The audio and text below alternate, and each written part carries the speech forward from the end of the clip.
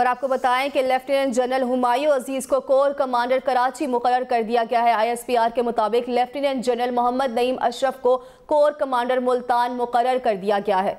इसी हवाले से आपको आगाह करें कि लेफ्टिनेंट जनरल बिलाल अकबर को कोर कमांडर रावलपिंडी मुकर कर दिया गया है। आईएसपीआर के मुताबिक लेफ्टिनेंट जनरल नदीम रजा को चीफ ऑफ़ जनरल स्टाफ मुकर किया गया। पाक फौज के शोबाई ताल्लुकात आमा के मुताबिक lieutenant general Shahid Baig Mirza, inspector general communication and I T मुकर किए गए हैं। Lieutenant general Abdullah Dogar, chairman heavy industry Taxila मुकर किए गए।